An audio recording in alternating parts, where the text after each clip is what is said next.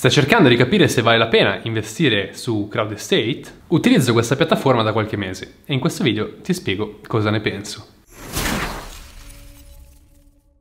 Ciao, sono Luca Bucci e pubblico tutte le settimane su questo canale informazioni a proposito di investimenti. Investimenti che generino delle rendite. Ci sono tanti modi per investire i soldi e in questo canale ne affronteremo diversi. Quindi se sei interessato ad investire i tuoi capitali e farli fruttare, considera di iscriverti a questo canale. Crowd Estate è una piattaforma essone di crowdlending immobiliare, esattamente come Estate Guru, alla quale però sono più affezionato. Investo anche su Crowd Estate fondamentalmente per diversificare. Infatti, al suo interno troviamo progetti provenienti da luoghi differenti, anche l'Italia. Crowd Estate funziona come tutte le piattaforme di crowdlending immobiliare. Ossia, noi carichiamo i nostri soldi sulla piattaforma e tramite la piattaforma possiamo scegliere in quale progetti vogliamo investire. La piattaforma ci fornisce tutti i dati di questi progetti che noi possiamo analizzare, i business plan dei progetti, la situazione attuale in cui si trovano i progetti e anche un livello di rischio. Crowd Estate è una piattaforma matura, infatti parlando di numeri è nata nel 2014, ha raccolto ben 87 milioni di euro da 44 mila investitori, quindi possiamo dire che ha un track record abbastanza solido. Per quanto riguarda il rendimento la piattaforma dichiara nelle statistiche una media del 17%, se non sbaglio,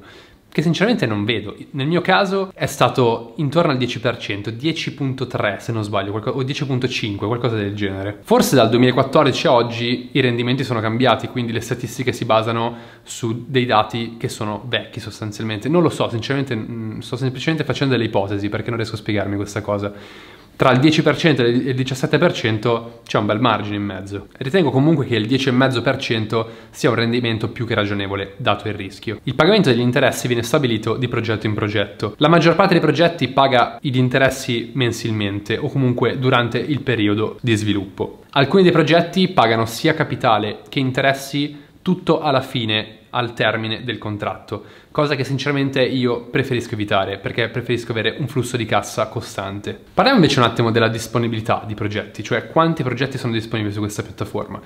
Allora, sinceramente se dovessimo confrontarla ad Estate Guru non c'è minimamente paragone. Infatti, su Crowd Estate troviamo una statistica che indica che più o meno siamo intorno alla decina di progetti proposti ogni mese. E StateGuru non dichiara una statistica di questo tipo, ma per esperienza personale vi posso dire che probabilmente ne propone una decina ogni settimana. Quindi diciamo che la quantità di progetti è decisamente inferiore ad Estate Guru.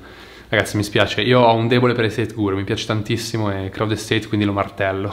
Anche su Crowd Estate però è disponibile un mercato secondario, quindi nel caso avessimo un'emergenza possiamo sempre vendere le nostre quote dei progetti in modo da liquidare prima del termine del contratto. Il mercato secondario potrebbe essere sfruttato anche per acquistare qualche occasione, soprattutto considerando che non vengono proposti tantissimi investimenti, quindi si potrebbe andare a fare la spesa sul mercato secondario. È disponibile anche una funzione auto invest che personalmente sconsiglio per il semplice fatto che alcuni progetti vengono divisi in round, quindi la funzione auto invest vi farebbe investire negli stessi progetti come se fossero diversi. Per quanto riguarda la sicurezza di investire su crowd estate, come sempre vi ricordo che gli investimenti comportano sempre un rischio e di solito è abbastanza relativo al rendimento atteso. Detto ciò, qui il rischio è che il singolo progetto fallisca. Vi consiglio quindi di analizzare attentamente i progetti nella quale investite e soprattutto di non puntare mai tutto sullo stesso cavallo. Diversificate. Per sicurezza Crowd Estate dichiara di aver separato la società con la quale raccoglie soldi e la società con la quale opera. In questo modo, nel caso dovesse fallire Crowd Estate, i nostri soldi sono tendenzialmente al sicuro,